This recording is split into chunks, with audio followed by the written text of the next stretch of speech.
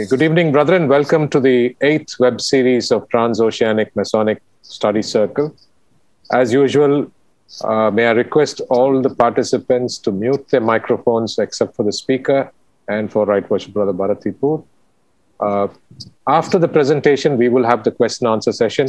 I request those of you who'd like to question the speaker on the subject that he's presenting to use the chat window. The questions will be picked up by Right Worship Brother Bharat Epur and addressed to the speaker. Thank you, and um, request you all to cooperate. If possible, when the presentation is on, please stop your video feed too. So this will give us enough bandwidth uh, for the presentation. Over to you, Right Worship Brother Bharat Epur. Thank you, Vashwada Umar Shankar. A very good evening to all of you, my dear brethren. Uh, it's a pleasure that you have come back for the eighth episode of the Transoceanic Masonic Studies Circle. You recall we started this uh, virtual meeting sometime in the middle of last year. We had uh, six episodes last year. The seventh episode was January this year. And it was a monthly uh, series up till then. In January, we decided to make it a quarterly series. So this is the eighth episode in the month of April. And we have had a lot of distinguished people speaking about various aspects related to Masonry. And today we welcome in our midst, in Masonic terms, a young Mason, but in terms of knowledge, quite a gray haired man indeed. So now we are talking about a person with virtual hair, virtual gray hair. and it's, uh, let me introduce him to you. Brother Raja Choudhury is a National Film Award winner. His specialty is making documentaries. He's an architect, he's a public speaker, he's a spiritual teacher, he designs multimedia installations and events and websites. And he has also been a recipient of the Webby Awards. He was educated at London's Architectural Association School of Architecture and went on to become a filmmaker as well as a digital producer. Some of his films include Spirituality in the Modern World, The Modern Mystic, The Quantum Indians, which went on to win the 2014 National Film Award in India. Yoga Aligning to the Source, and this was incidentally the UN's official global film, celebrating the very first International Day of Yoga, as was propounded by the Prime Minister Narendra Modi. He's currently producing a new film with WTTW Chicago, which is the Public Broadcasting Service, PBS of America, and it's called America's First Guru. This is his tribute to Swami Vivekananda and its arrival of yoga and a concept and idea of Hinduism into the popular American subconscious. Now, uh, just a few words about this particular thing after his presentation is over, because I would like to, uh, you know, talk a little bit more about his new project. And uh, as far as masonry is concerned, my brother, as I said, is young in masonry. He's a master mason in Lodge East and West, number 127, in the Grand Lodge of India, New Delhi. And he has uh, been a mason since 2015, so he's, as I said, young in masonry. Despite that, he has been exalted into the Royal Arch in Chapter Sundar Hira, and he's also in the Rose Cross Chapter Lucas, number three, under the Supreme Council of the Ancient and Accepted Rite for India.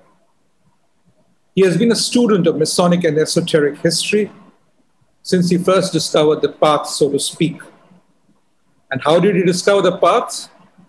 Because he laid his hands on Umberto Eco's book, Foucault's Pendulum. Those of you have not read it, please do read that and also its predecessor book, The Name of the Rose. And he also wrote, uh, wrote, read the book, The New Atlantis. And that is the inspiration for today's talk from New Atlantis to New Delhi. Over to you, Raja. Thank you, sir. Thank you, brother. Good evening, brethren. I, I'm honored to be here, and thank you, Brother Bharat, for inviting me to present this talk. And I wanted to just start by saying that we human beings are essentially different from our brethren monkeys in that we are pattern recognition creatures and we are storytellers. We love, we see patterns in everything. We see sacred in everything. We see unusual patterns. That's why we are so successful. But we are also remarkable storytellers because we keep our traditions and our knowledge alive through stories. And what I wanted to share with you today is a story that starts way back in ancient Egypt, goes through Francis Bacon and ends up in New Delhi, which is quite a journey we're going to take. And the other part of it is a, a story of pattern recognition that how we came to see the correspondence of the stars and the in our beings, in ourselves, and in the work and our architecture and our cities. So I wanted to start with this, and today's talk is called. I'm just share my screen. Just give me a second. My talk is entitled "From New Atlantis to New Delhi: Sir Francis Bacon and the Making of a Brave New World."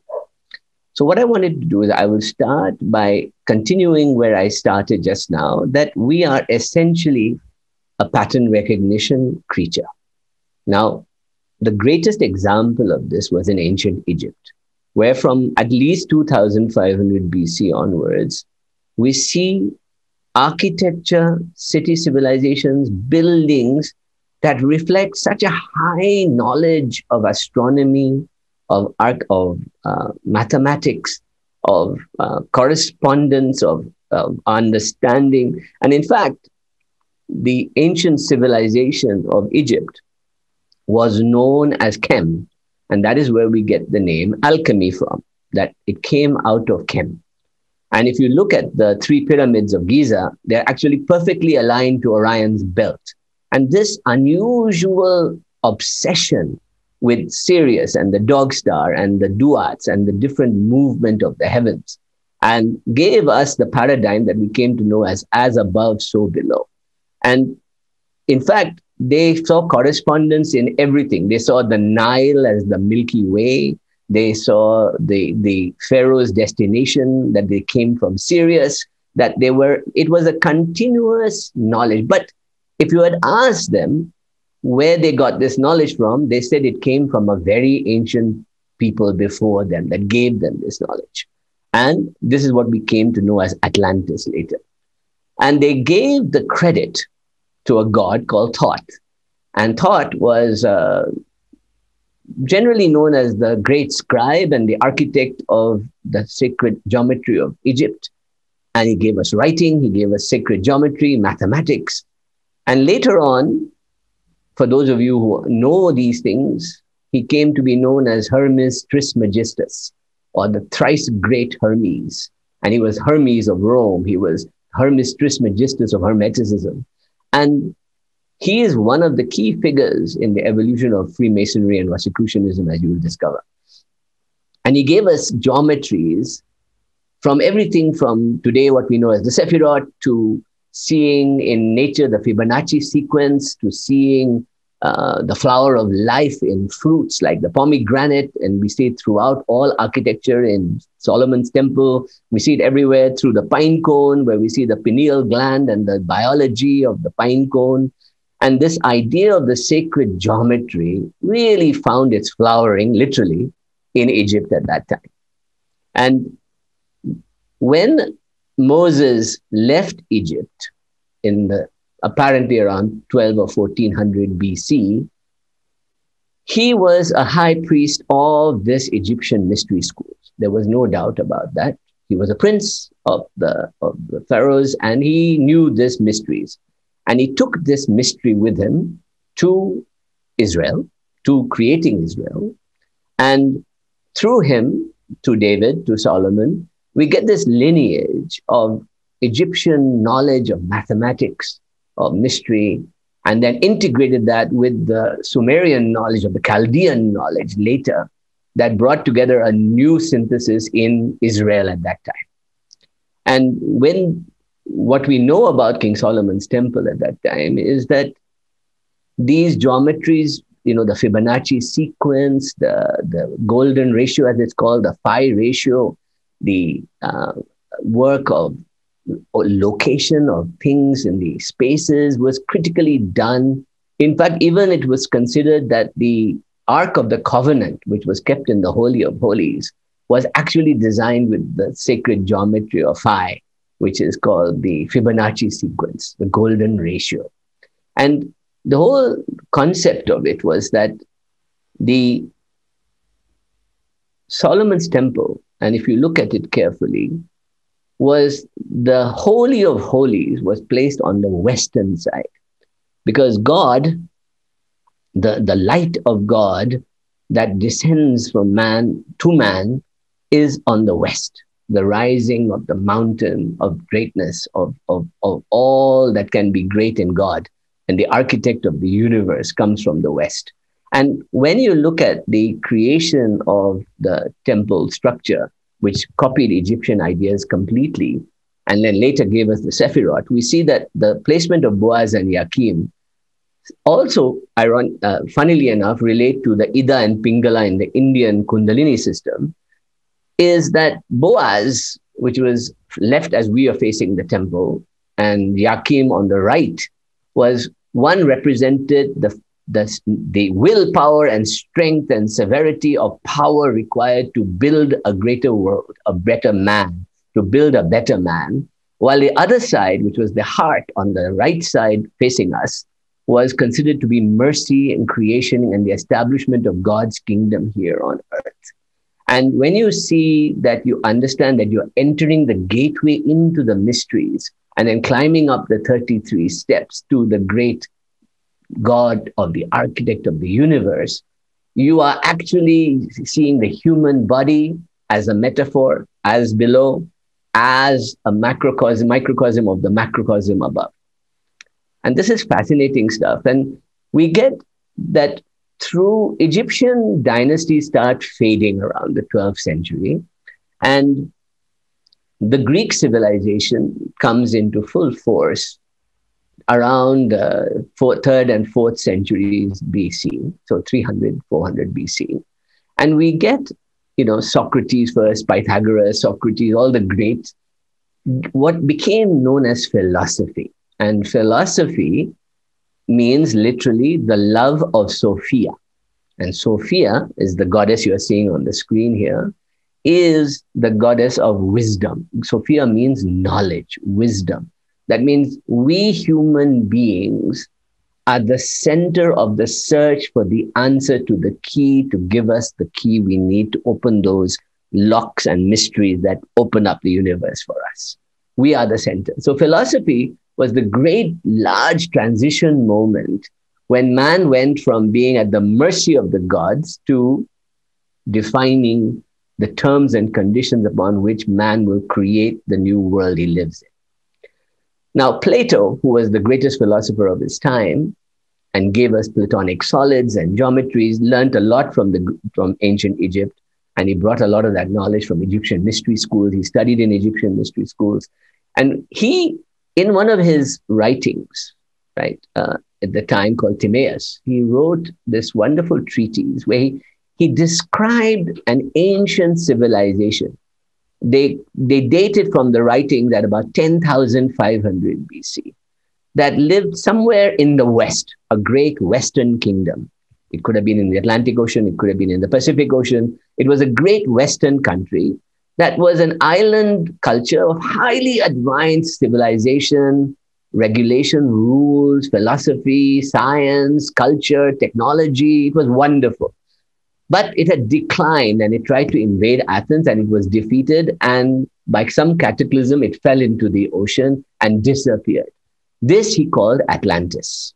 And it, this, the idea was that knowledge was lost and then it was reborn in Egypt and came to the Greeks through Pythagoras and Socrates and Plato, and now was in the world to become the new philosophy of reason and thinking and logic and art and beauty and creativity.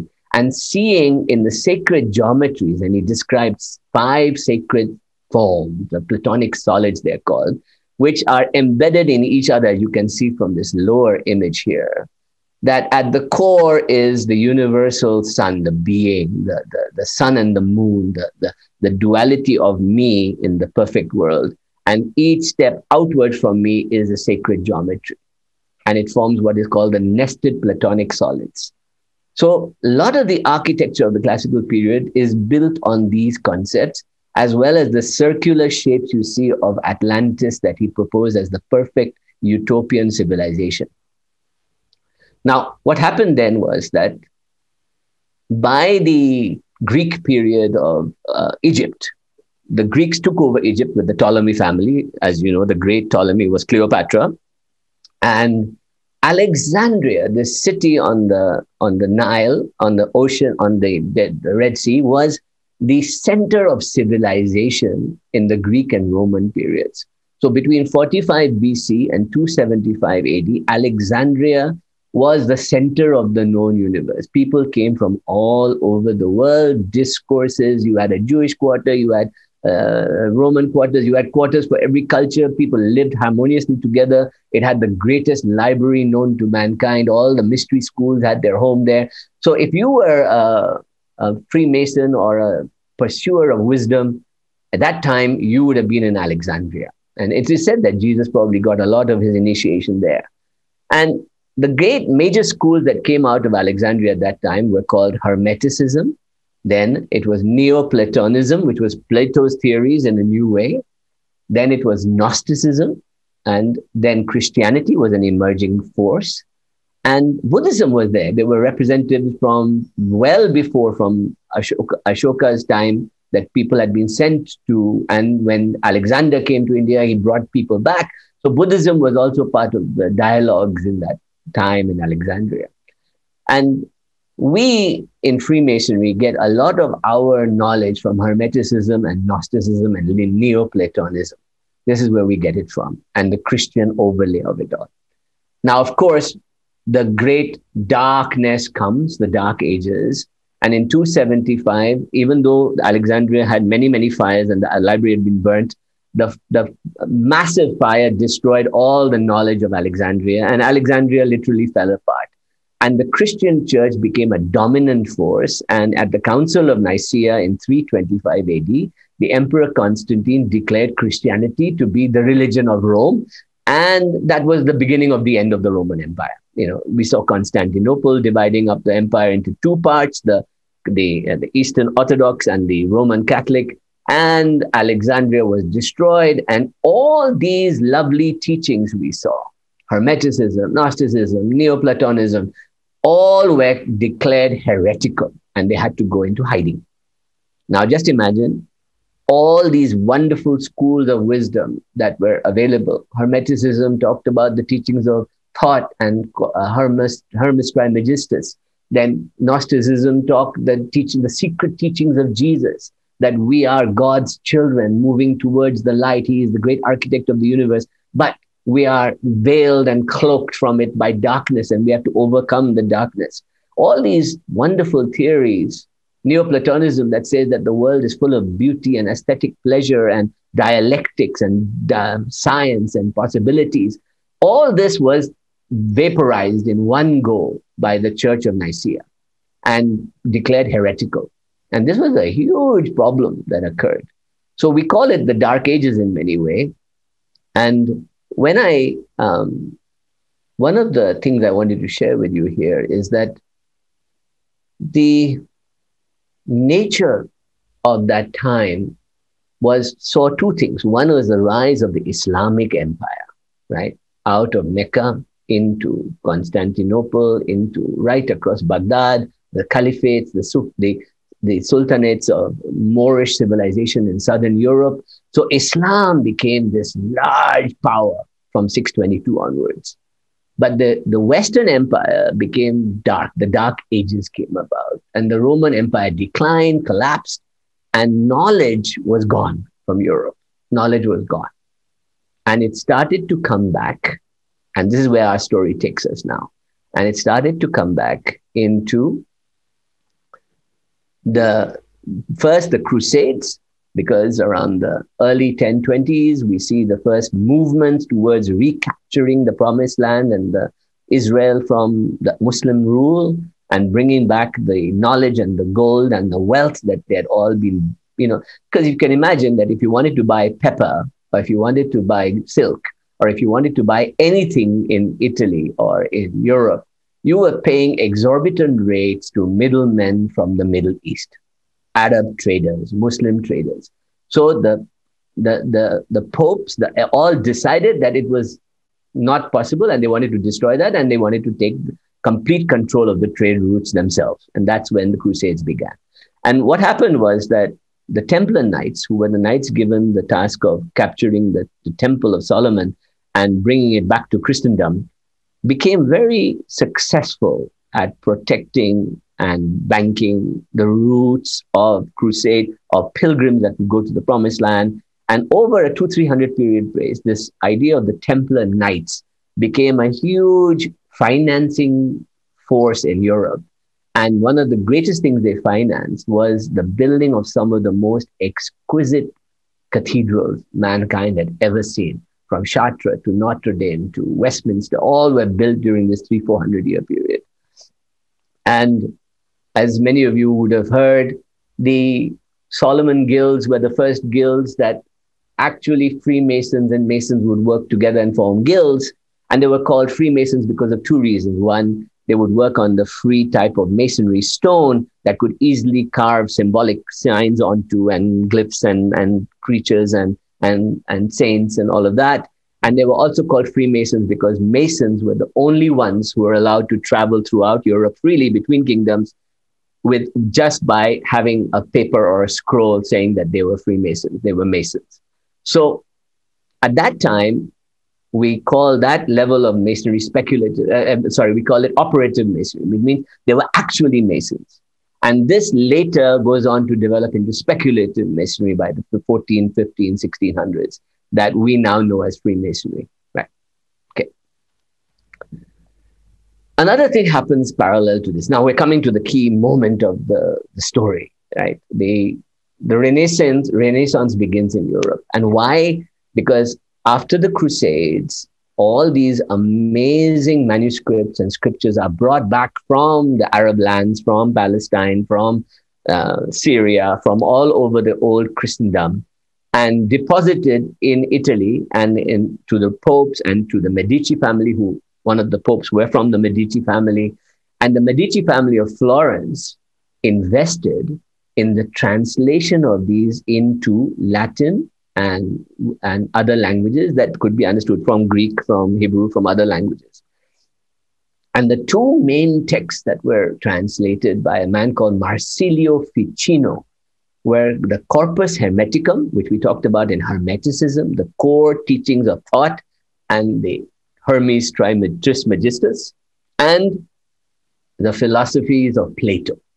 And these two were translated. And it is said that Marsilio Ficino said, Many have paid lip service to philosophy, but these men served it with their whole heart.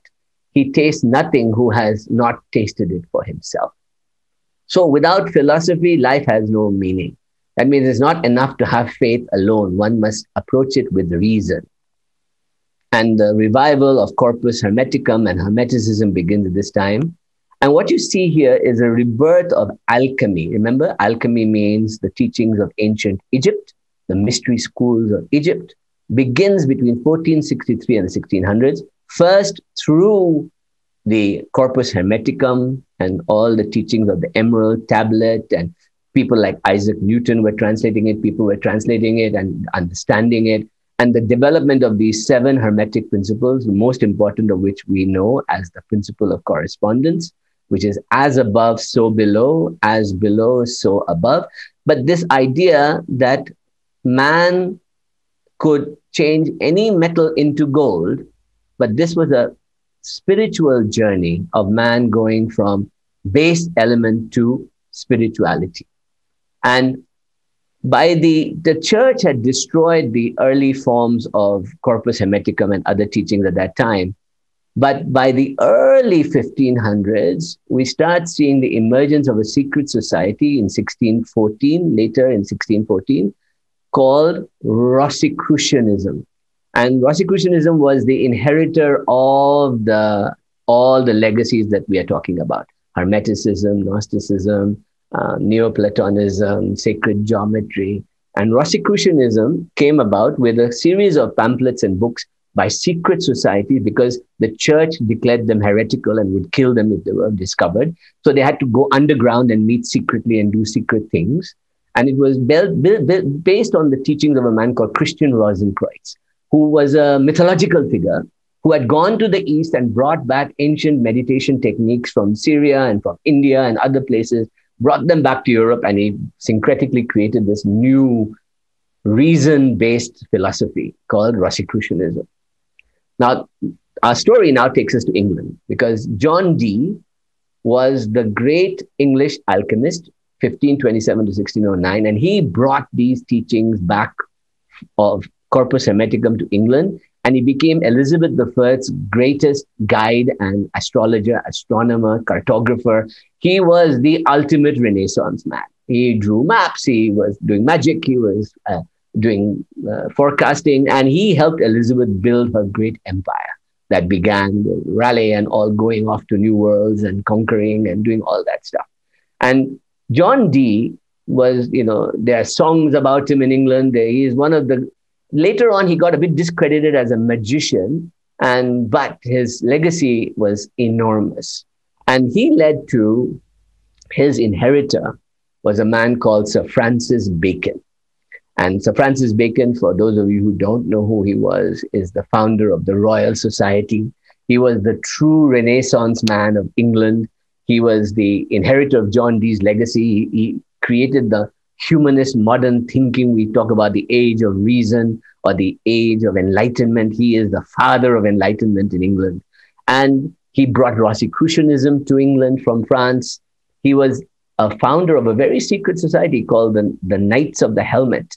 And this society, it was said, was the reason why Shakespeare's plays were written.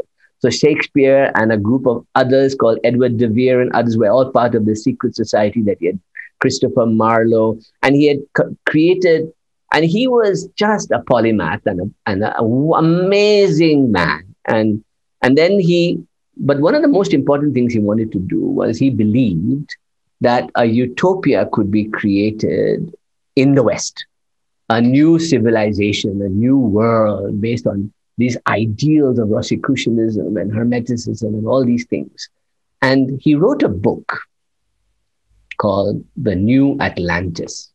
And this book was in 1626, very hidden, secretive book that began to campaign aggressively for colonization, for the development of new forms of brotherhood, government, science, and whatever you can imagine. And he started, and while he was writing all this stuff, he was pushing the, the, the royal courts to colonize the world. He was pushing Walter Raleigh, he was pushing others to go and colonize Virginia, to go and colonize Newfoundland. In fact, his influence was so strong that Newfoundland declared him the founding father of Newfoundland and gave him a stamp at that time. You know, it was wonderful. And the New Atlantis, the book, was a phenomenal book. It painted a picture. Now, just bear with me, brothers. It painted a picture that of uh, this group of sailors heading through the Cape of Good Hope, through Peru, are sailing around Americas, and they get lost at sea in the Pacific Ocean. And they are rescued by these advanced sailors and technologies from another group of people of an island they discover called Ben Salem. You know, think of it. Ben as in newborn and Salem as in Jerusalem. You know, this was the new Salem. And Ben Salem was a amazing, just like Plato's Atlantis, it was a highly evolved civilization. It had reason and it was a republic. Everybody was equal, humanist, progressive democratic, equality, scientific, superstition free, tolerant of religions. And it was said in the book, it says, generosity and enlightenment, dignity and splendor, piety and public spirit were the underpinnings of the new Atlantis. And at the center of the new Atlantis was a secret society called Solomon's Temple. Does that sound familiar? Solomon's Temple, Solomon's Temple. And it was headed up by a man called Jabin, who was the father of the, the grand master of, of the lodge of Ben Salem. And he gave them medicines, he gave them new science, he gave them technologies, and then they went on their way. But their arrogance forced them to leave the island. The book didn't finish, it kind of unfinished symphony in a way. But the idea was that man could not keep this beautiful knowledge to himself. It would destroy everything. But the symbolism that came out of that changed everything we know.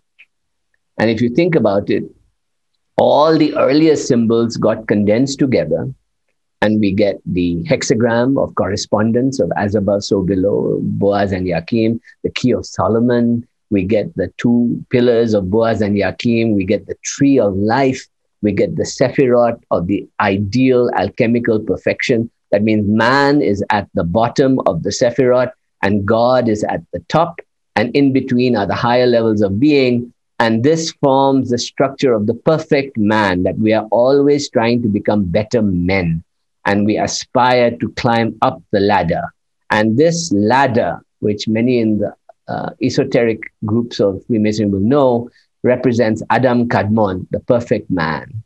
And if you look at the shape of the new Atlantis that he had drawn, it is a pentagram. And the pentagram here represents the word of God made spirit into man by overcoming the elements of the earth. So you have sacred geometries that include a pentagram. By the way, an upward pointing pentagram represents aspirational to God, and a downward pointing pentagram is devil and Satan in that way. So the upward pointing, you'll always see it in Freemasonry, is the and in if you think about this, this leads to Leonardo da Vinci's great painting as well. So just imagine all these sacred geometries, which we have now know and so see in everything, were developed and refined during this period. So what happens?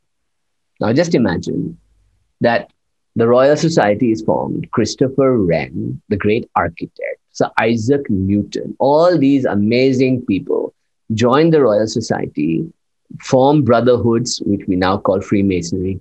You know, the lodges didn't form till the 1700s. But we get to see the birth of sacred geometry, creating a new Atlantis or a new Jerusalem here on earth. And when they had the Great Fire in 1666, Christopher Wren proposed that there be some kind of rebuilding of London, but this never happened correctly. And we see that it was a, a beautiful idea with the two towers of Boaz and Yakim, the, the, the Holy of Holies in the middle in the cathedral. And here the cities would just be full of aspirational spires reaching for heaven so that we create a glorious civilization. This was the first effort. Paris also tried but didn't make it. So we see here that now this is the, where the interesting thing begins. Bacon pushes the new colonies to form in Virginia and Newfoundland starting in 1606. And very early on, Rosicrucians, inspired by Bacon, moved to Philadelphia, to Boston, to Newfoundland. And you, they don't become colonists, they become influencers. So they start doing printing presses, they start teaching scientific ideas, they become doctors, they become healers, all kinds of things. And I want to share one thing with you, which is a little known fact that they arrived here and in Newfoundland up here at first, the colonists. But if you look at where they set up, it was in Pen- Philadelphia that most of the activity occurred. Most of the, the, the revolutionary activity later, and everything happened in Philadelphia. The first printing presses, the first thinking, Benjamin Franklin was there. There he is over there. And if you draw a line from Pilot Mountain in South North Carolina all the way to Newfoundland, and you draw, it's called the Masonic line. If you draw a line, this line just coincidentally goes through Washington, Baltimore, Philadelphia, New York, Princeton, uh, Boston, and then Newfoundland. I mean, talk about influence of Rosicrucian thinking and sacred geometry in the making of America. This is a very beautiful example of that. So the first colonists came, they settled down here, then they started spreading, and smaller colonies started in Philadelphia, in Boston. You know, later on, New York became a Dutch colony, that became English later. And the influence of Rosicrucianism was everywhere.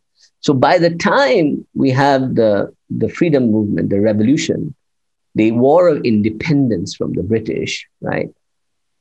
The founding fathers, Benjamin Franklin, Thomas Jefferson, you know, were all Freemasons, you know, and the committee of five that was established, in fact, of the founding fathers, 14 were Freemasons of Scottish Rite and English lodges, all were there.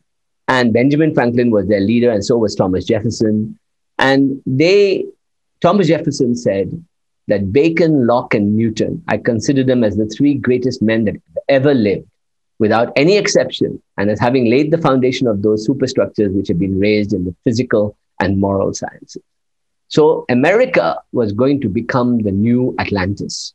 And if you read the Declaration of Independence, it reads like you're reading the new Atlantis. We hold these truths to be self evident that all men are created equal, that they are endowed by their Creator with certain inalienable rights, and that among these are life, liberty, and the pursuit of happiness. And if you go deeper, the parallels with the new Atlantis are magnificent. So that means the influence of Bacon thinking on Franklin, on Jefferson, and those early Rosicrucian thinking in America was tremendous.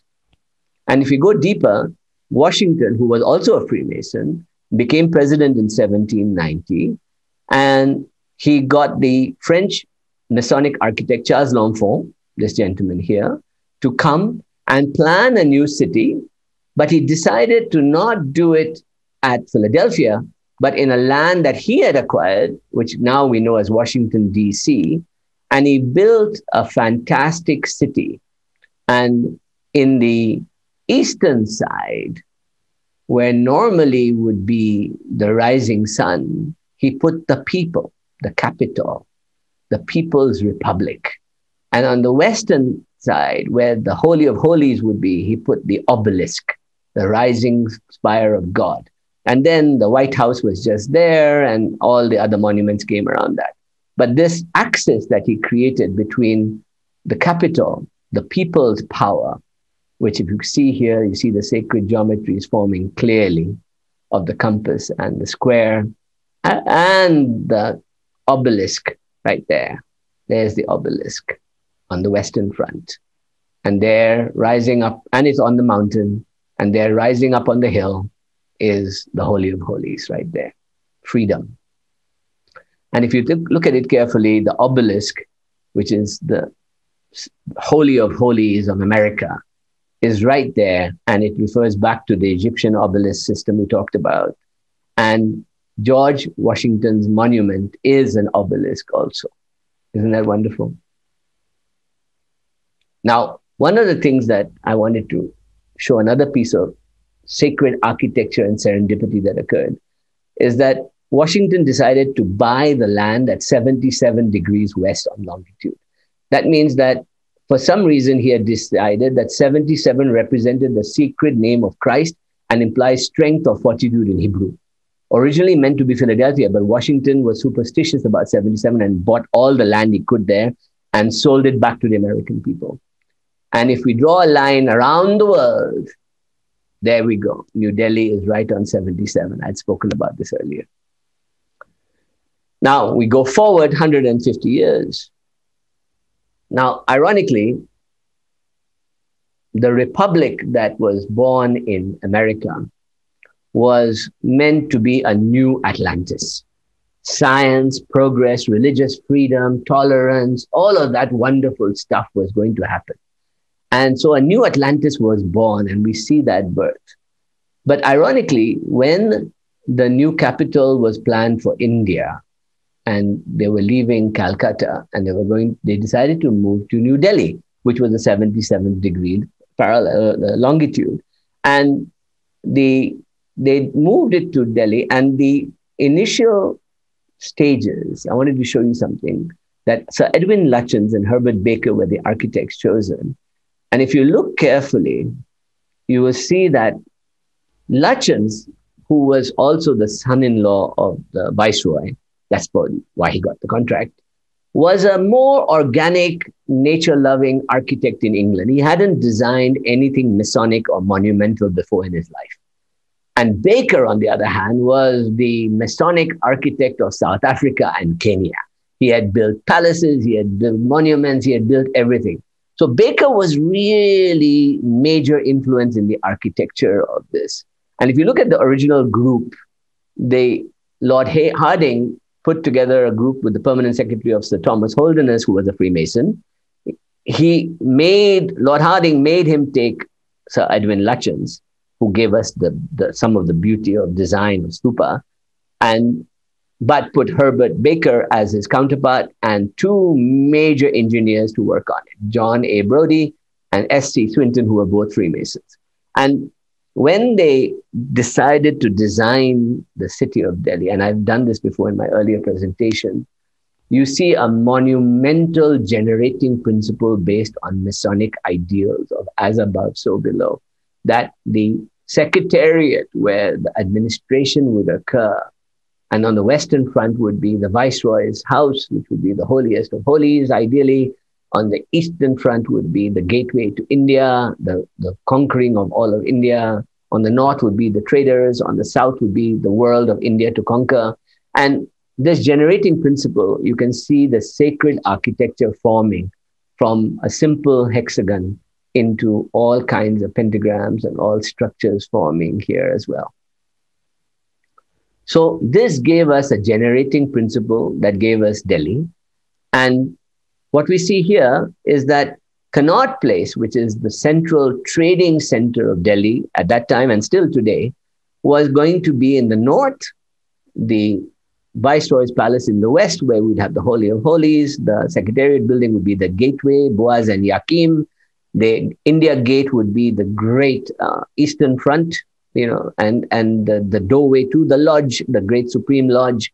And the people would be in the north as well. This would be the People's Secretariat, the, the Lok Sabha today. So there's the Lok Sabha, there is Connaught Circus, and there they are, the geometries. And you can see it again here. This was the great generating principle. And if you look carefully, it's multiple axes of hexagons and sephirots and all kinds of geometries you are seeing everywhere. Now, this is another picture of that hexagram in action.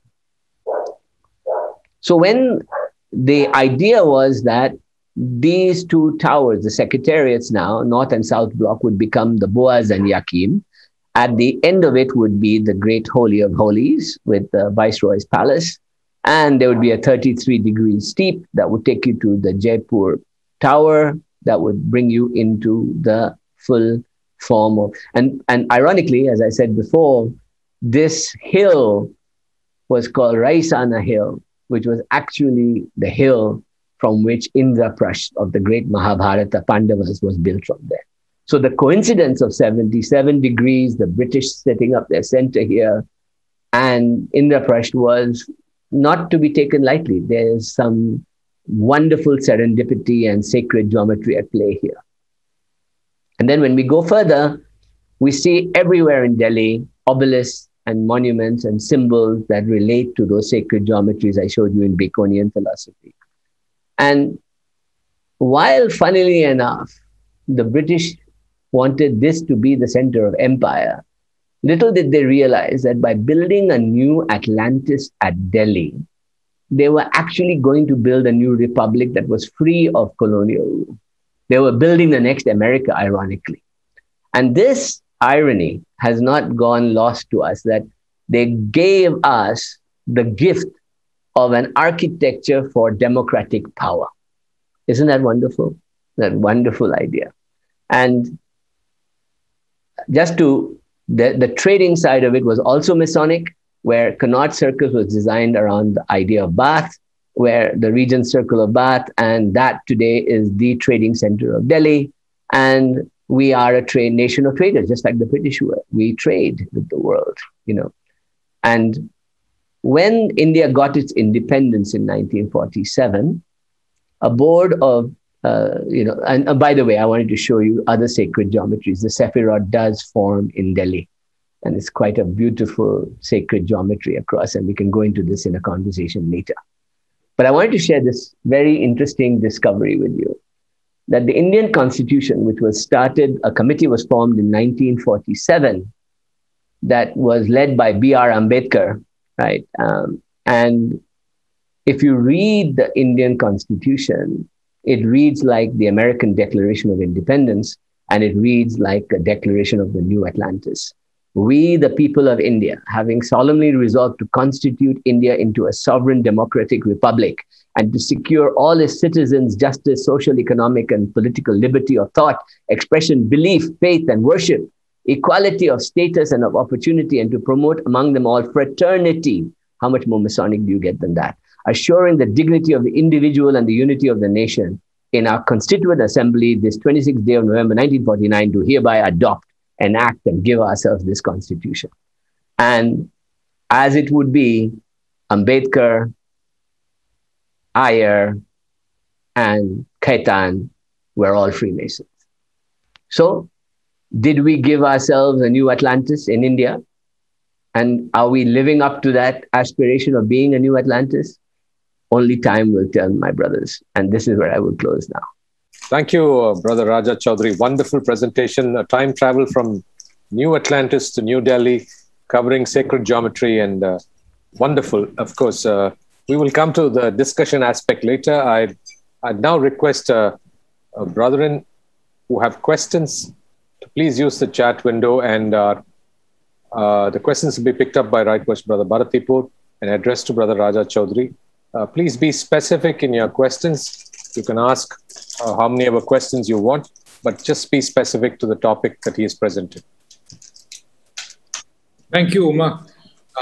Lovely, Raja. What can I say? Uh, just uh, I just noticed something that there were 77 participants in today's uh, webinar. wow. The world does work in mysterious ways. Synchronicity and serendipity. We are living pattern recognition creatures.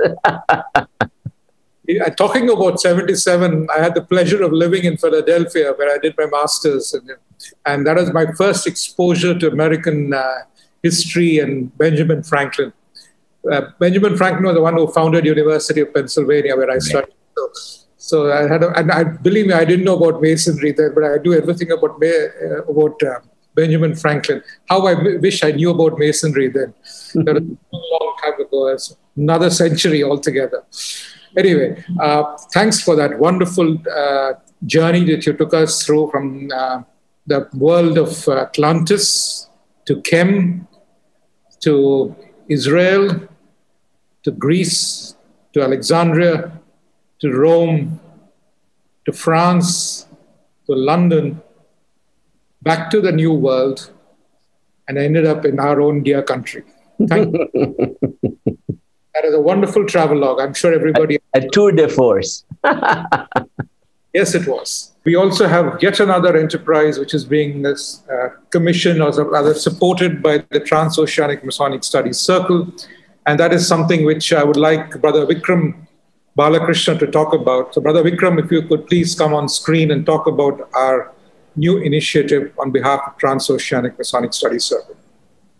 Thank you, uh, Right Worshipful Brother Bharat. And uh, uh, thanks, first of all, Brother Raja, for this wonderful uh, journey you have taken us through. And I think, uh, speaking of patterns uh, which are emerging and, you know, some of the topics which have been spoken of, I think you have taken us through a wonderful virtual tour from New Atlantis to New Delhi. And that would obviously be many, many virtual thousands of miles and kilometers or whatnot and uh, um, you know you also alluded to tour de france um, you know perhaps uh, as uh, an example even uh, you know in terms of the uh, places which got covered and our uh, community which has you know transpired as as a consequence of um, many virtuous circles which have you know similarly emerged whenever right worshipful bharat uh, uh, right worshipful brother Bharat and worshipful brother Umar involved,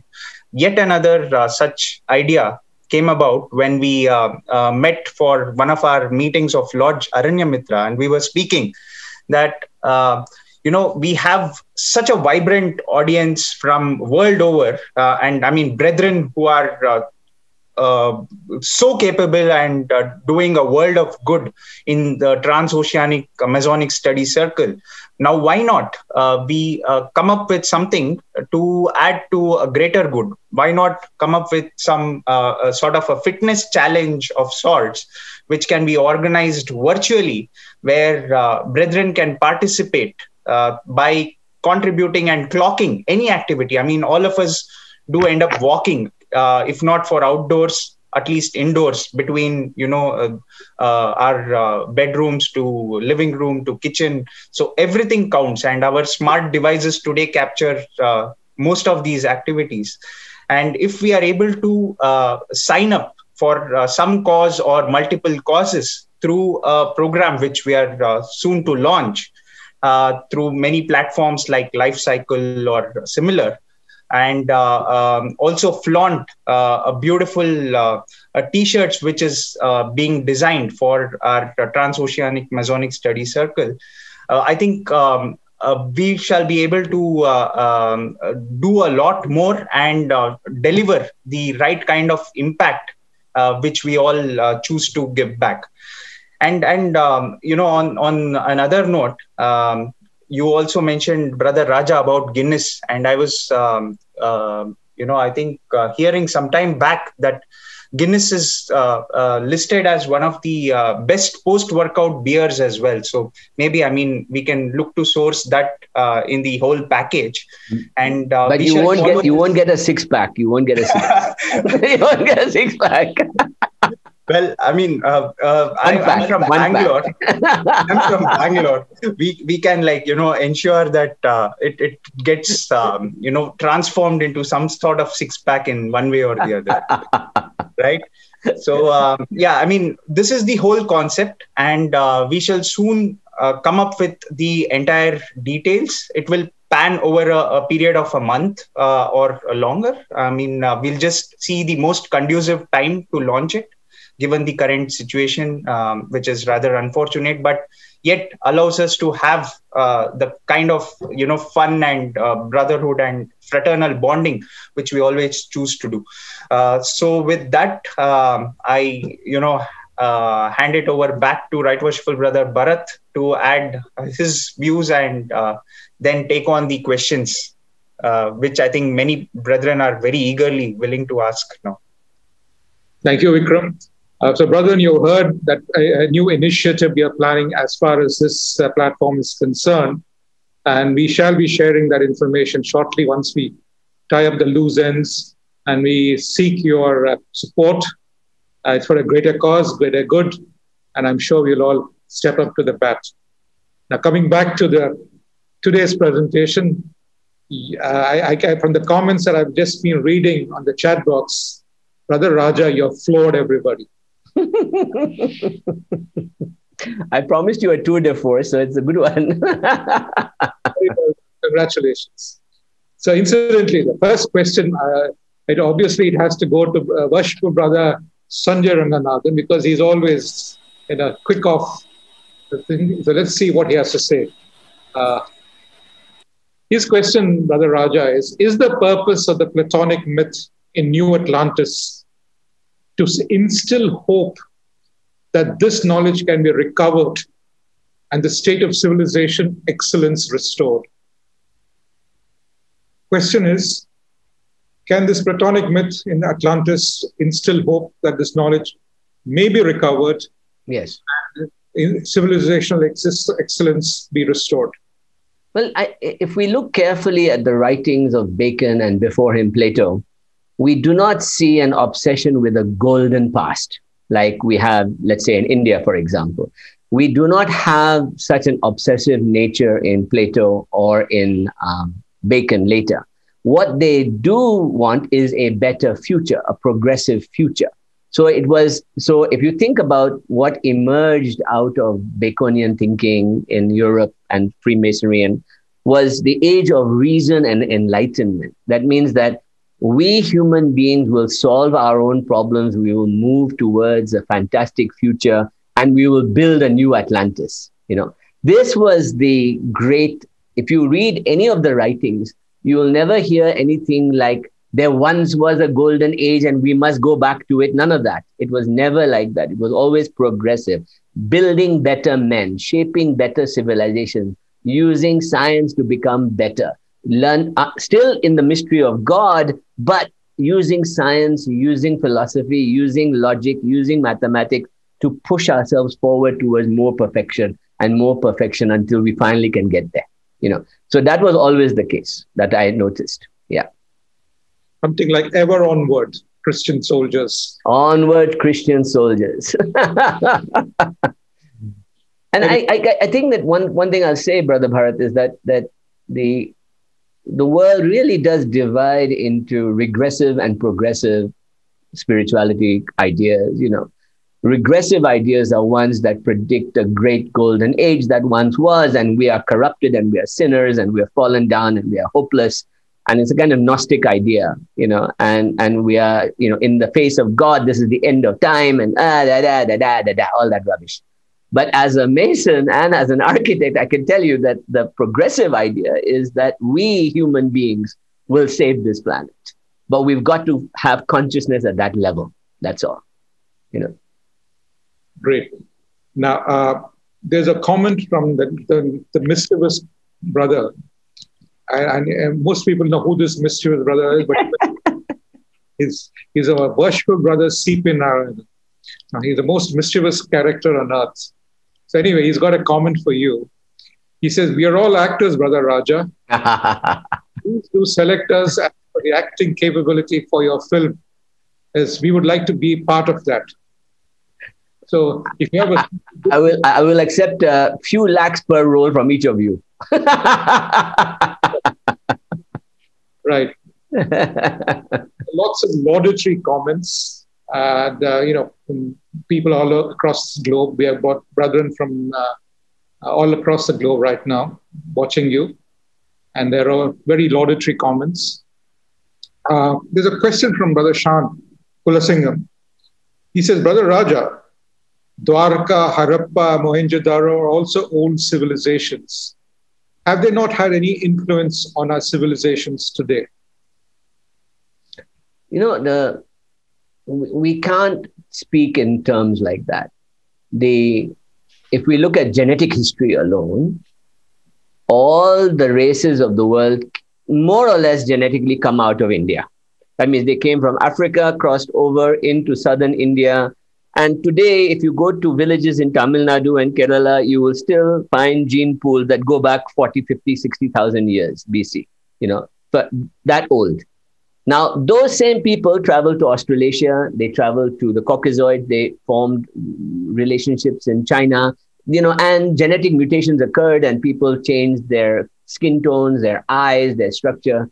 And if you look at northern India, genetically, it's a hybrid mix between Indo Persian, and I'm talking now pure genetic scientific history. It is Indo Persian, Mongol, uh, invaders of uh, Turkestan, you know, all plus Dravidian, ancient Indian, all are there. H1A, you know, the, those are all there. Now, did Indian civilization go at these periods and affect everything? Yes. Buddhism was there at the court of Alexandria, no doubt about it. But you cannot identify clearly. Pythagoras did come to India, no doubt about that. However, what we are seeing is a revolution in thinking around 6th century BC that happens around the world in Socrates and Plato, in Confucius and Taoism in China, in Buddha and Mahavir and Upanishads in India, which is a revolution of self contemplation. Who am I? And this revolution, we Masons are a product of that who am I question and what is my place in the divine plan. That's what we have to remember. So let's not look at whether or not Harappa and, and Mahabharata and all are true and affected the world. No, that's all fine. Who are you? And what are you going to do to shape the next world that's coming, this world? Yeah. Thank you, Raja. In, in fact, I think that also answers que- another question. This was from Brother Sri Kandan. from Malaysia. Uh, his question was, Brother Raja Choudhury, it's a great honor to be present for your presentation. It was truly excellent. A question that I have is that you did not emphasize enough on the contributions of ancient India, the new Atlantis, or perhaps I missed it. I guess your previous answer would have covered this particular question to some extent. And uh, further on, another add-on question to this is brother brother Sailesh Gokul Singh from Mauritius. His question is, are there any connections between Atlantis and Lemuria, which is believed to be the Indian Ocean spanning from India to the southern tip of Africa?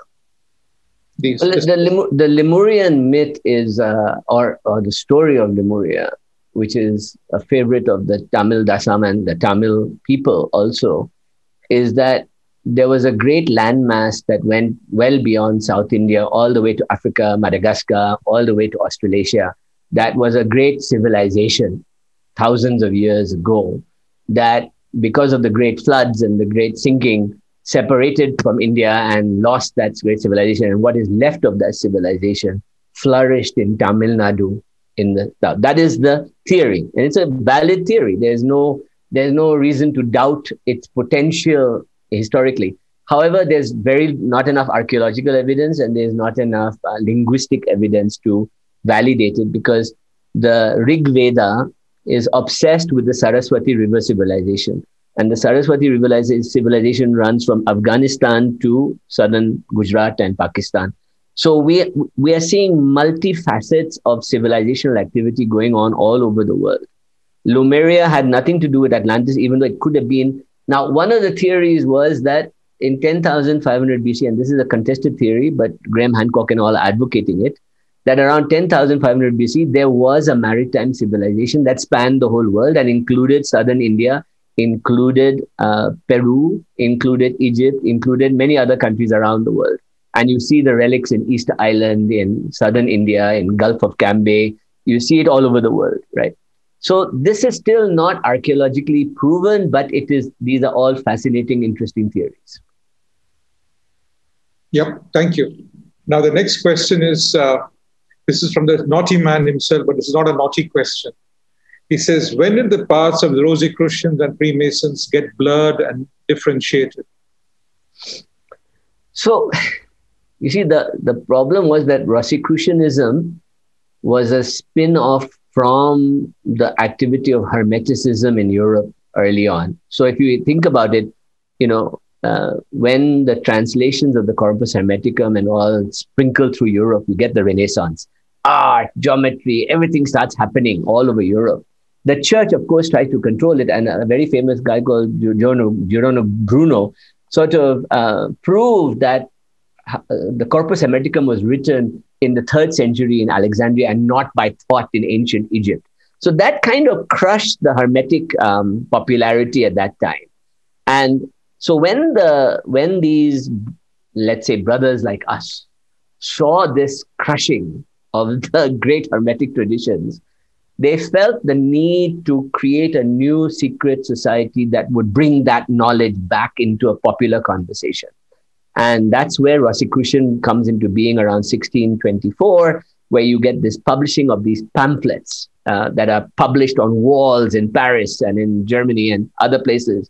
And a book is published and released called the, Christ, the Chemical Wedding of Christian Rosenkreutz right? The great book. And this book is the Bible of alchemy and Hermeticism and Rosicrucianism that we know today. It's an obscure book. If you try and read it, you you you'll have no hair like me. You all will fall off trying to figure it out.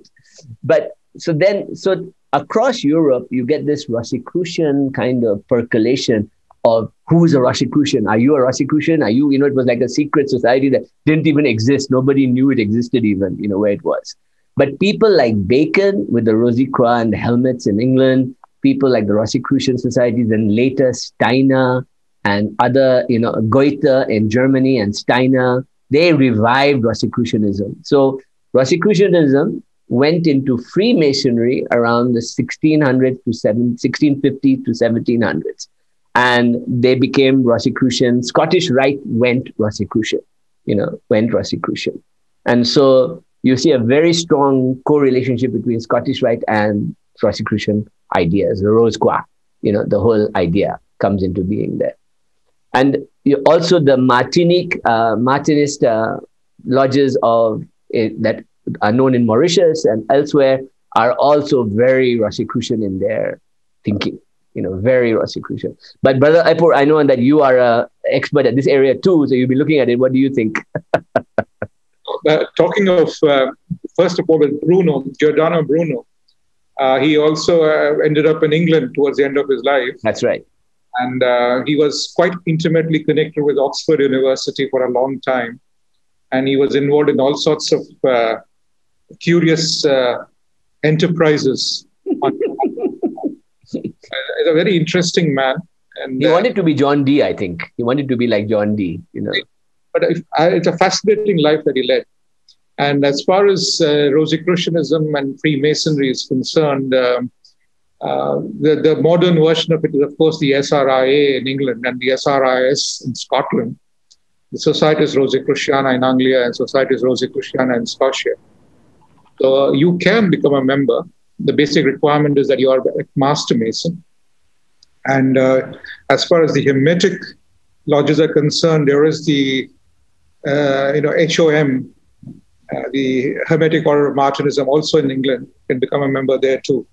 Incidentally, I'm a member of both, so it's Wonderful. both fascinating uh, uh, experiences for those who are interested esoterically. So, if I might just add there, brother, that the the closest esoteric non-Masonic teaching that is closest to the original Rosicrucianism was the teaching of Steiner and Goethe, Steiner in particular. And Steiner was, uh, uh, he organized a group philosophy called Anthroposophy in the 1920s and 30s in Germany. And if you get a chance, it is worth reading a book he wrote on the Rosicrucian initiation that will also help you in your Masonic Rosicrucian work as well. It's a very powerful treatise on, which includes, by the way, a meditation on an Om, A-U-M, was what they believe Christian Rosenkreuz brought back from the East, was an Om meditation. Just for my brothers who think that India did not affect anything, I, uh, Rosicrucianism meditates on Om. At, at this juncture, at, at, this juncture, Brother Raja Choudhury, I'd just like to interject. Uh, just, just for, it's a comment. Uh, Rosicrucianism does not have any connection to Scottish Rite. We will talk about it a lot more. Uh, the next question is uh, from Brother Shehan Peiris from Colombo. Uh, Brother Raja, the Locke you mentioned in the triad, Bacon, Locke, and Newton, is this the same John Locke who also theorized about human emotions? And was he a Mason? No, he was a Rosicrucian. He was not a Mason because at that time Freemasonry, the, the, the Grand Lodge had not been formed yet. So nobody was called a Mason. At that time, they were called other things They were guild members or speculative members and things like that. But he was definitely a Rosicrucian. That Locke was a Rosicrucian, but he was a part of the Helmets, which was uh, the Bacon group that was formed. And then later, Royal Society as well. So, yes, he was that Locke. And uh, Isaac Newton became the president of the Royal Society after Bacon, after Bacon and one, two, three others.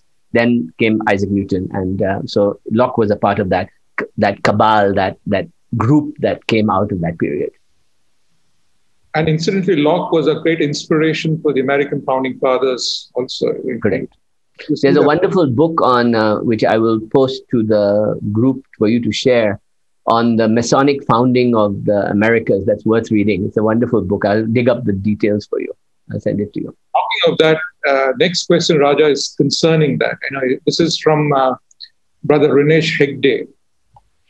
He said, wasn't the New Atlantis book a treatise on colonization? If yes, how does it justify the emergence of Washington, D.C. and Delhi as per your talk? I can understand Delhi as it was the British who chose the place, but Washington, D.C. was chosen by the Americans. And he ends up by saying, Not sure if my question makes sense. So in other words, I think he's trying to question if the book is about colonization, which was to the benefit of the English, why did the colonized people choose to develop on that subject? I understand. I understand. And and most current thinking is that Bacon was a Republican and a revolutionary by nature. he was not looking to continue the monarchy in any way. He wanted to build a democratic structure, even in England, which was not truly democratic at that time.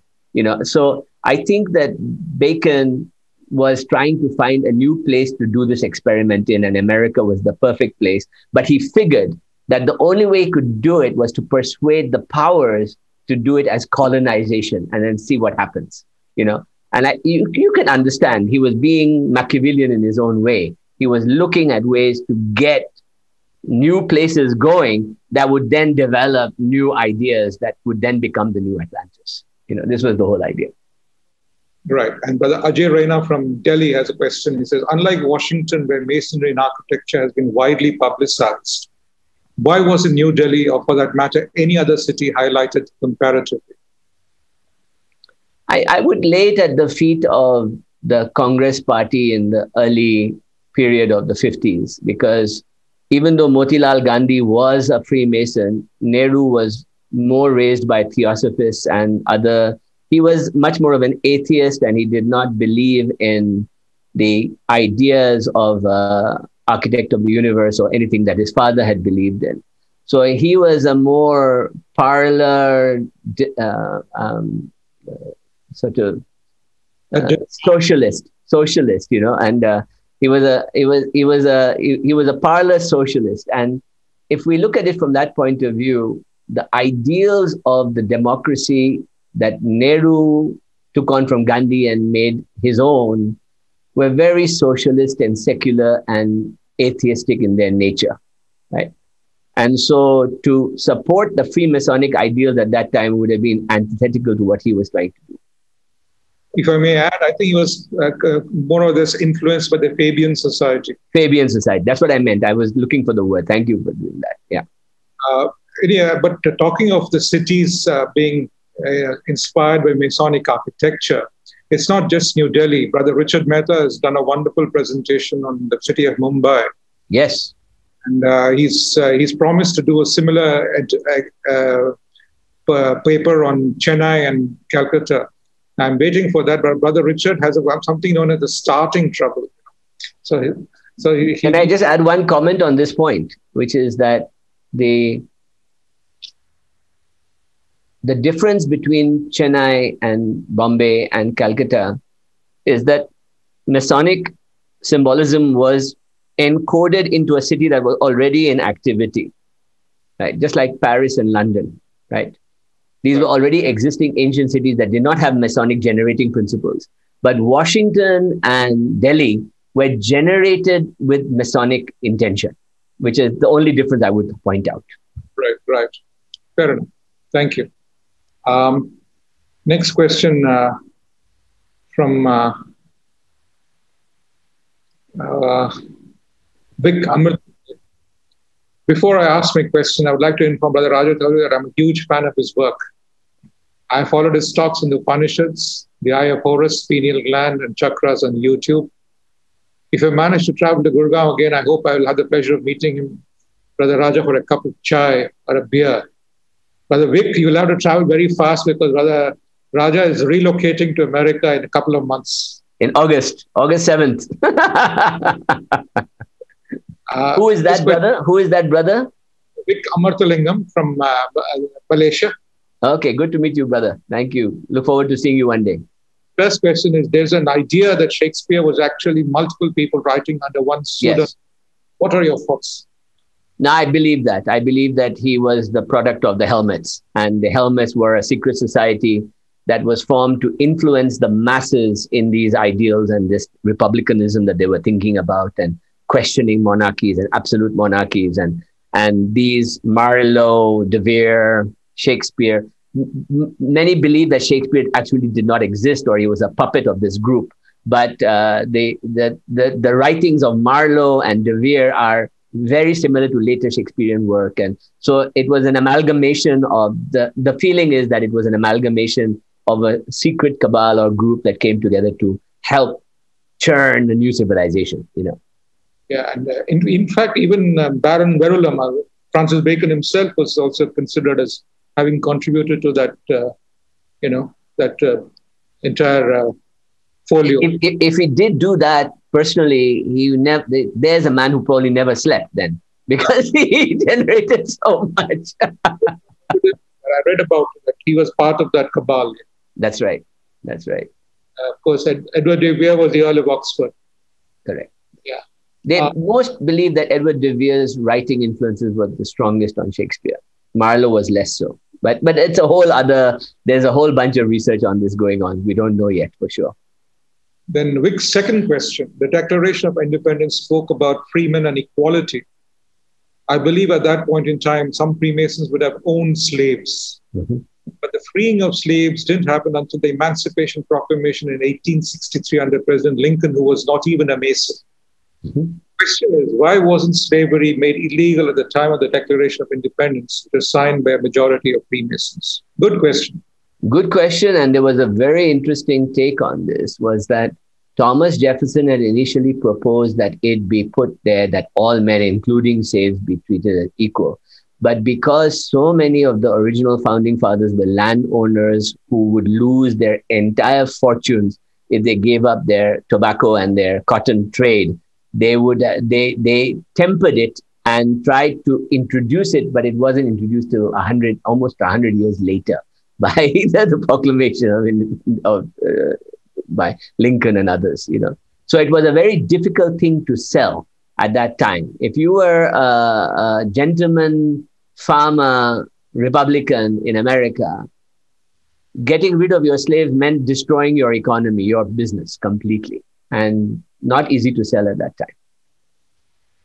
Yeah, in fact, uh, having uh, you know kept that in mind, you will also remember that uh, the so-called universal franchise was not a concept which was there in, right from the beginning, uh, as far as America was concerned. Neither was it there in Europe or England.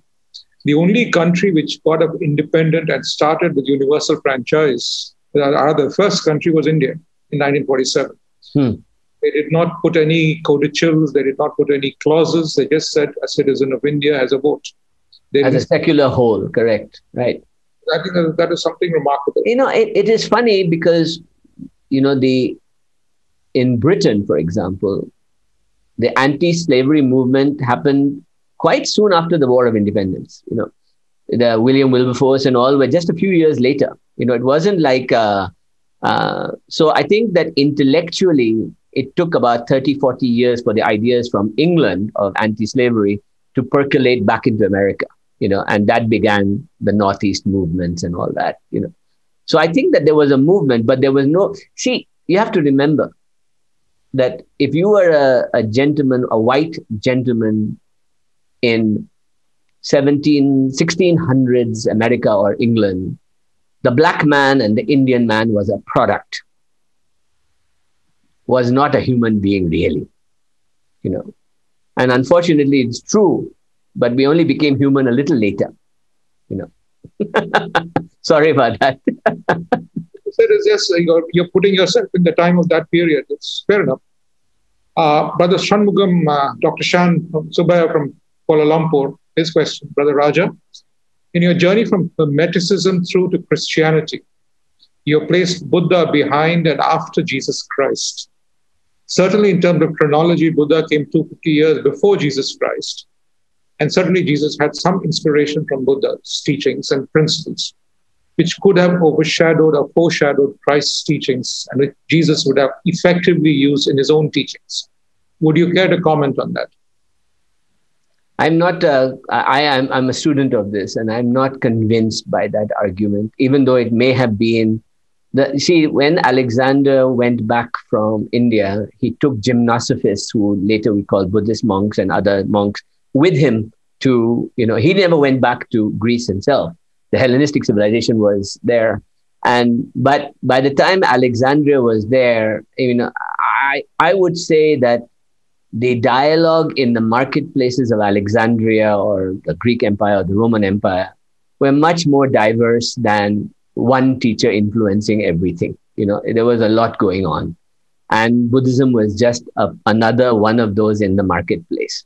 Now, whether Buddha was influenced by Buddhism, no evidence, because The closest we have seen is from the Nag Hammadi library of the translations of the Gospels of Thomas and the Gospels of Mary Magdalene and the Gospels of Judas, which were heretical texts, and the Corpus Hermeticum later. And what we see there is a much more Zoroastrian type of religion than necessarily one of Buddhism or of Hinduism. So I, I would beg to differ on that. That's all. Okay.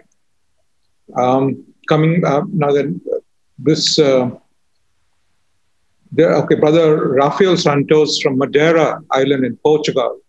Uh, he just says a wonderful session, and he's having some audio and video connectivity problems, so he's not able to log on and ask you a question. Maybe he will get in touch with you later.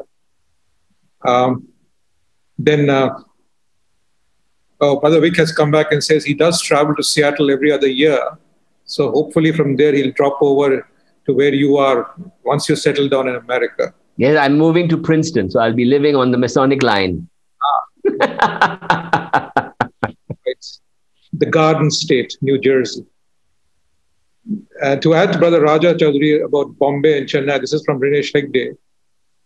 He says we can add a design forceful and existing design and explain the points. The symbol of Om and cross have already been added to these cities, and each point will have a meaning. And there is a line in the lost symbol that mentions that you can draw any line on a city and you will find it to draw something interesting. Oh, okay. Not exactly a question, a comment. So I think, brethren, we have reached the end of the questions. I don't see any further questions, mostly comments, auditory comments, as I mentioned. Brother Raja, you have hit the proverbial sixer. Wonderful indeed. Uh, thank you once again. It was an honor and a privilege to be here with you. Thank you, sir, for having me. I was very honored for, for a junior Mason like me to be given this privilege. I'm very grateful. Thank you.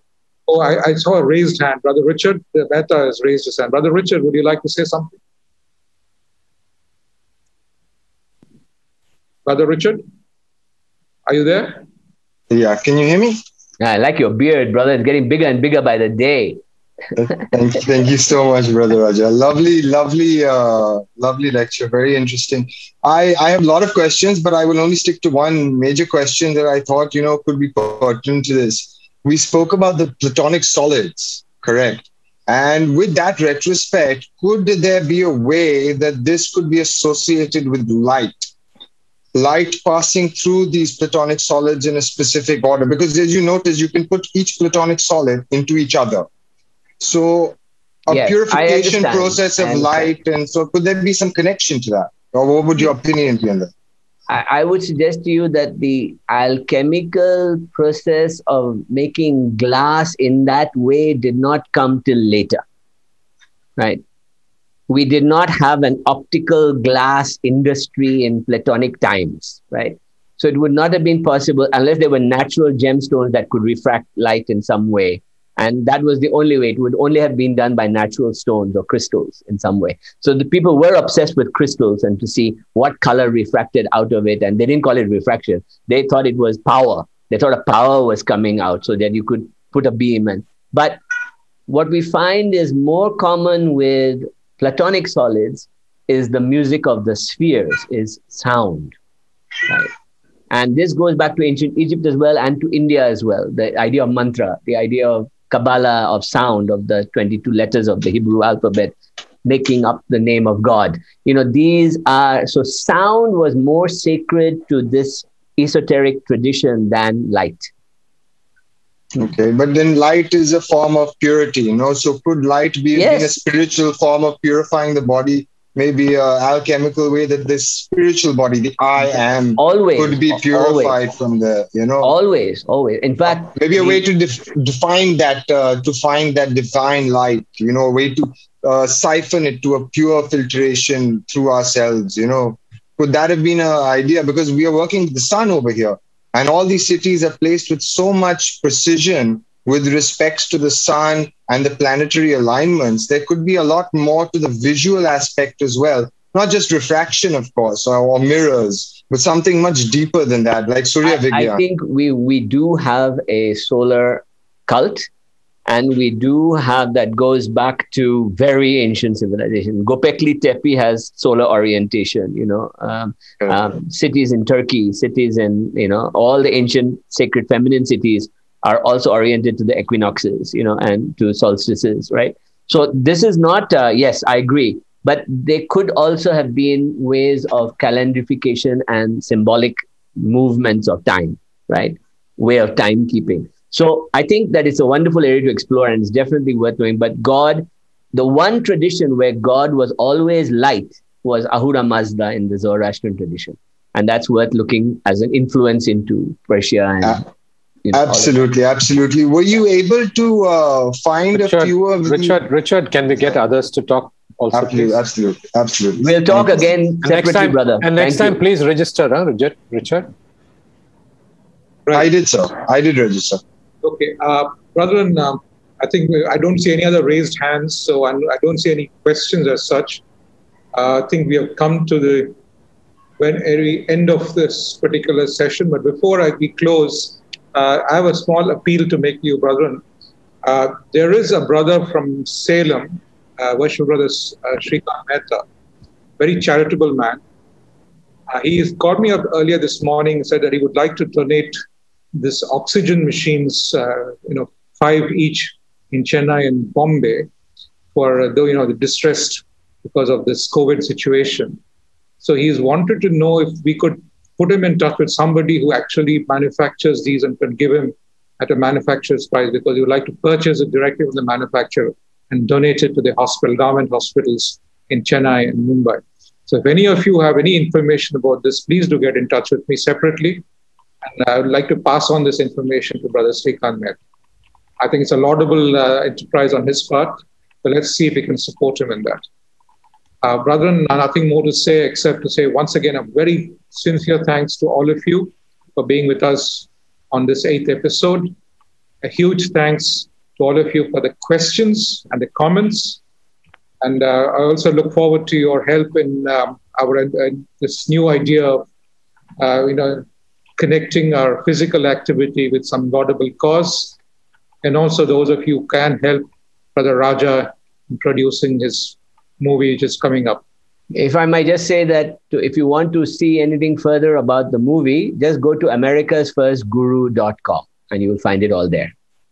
Right. Brother Raja, once again, thank you very much for uh, sharing your uh, knowledge and your zeal and enthusiasm with us. I wish you well in all your endeavors and uh, especially the, the movie that you're about to produce. And uh, rest assured, we will come to your assistance in some way or form very soon.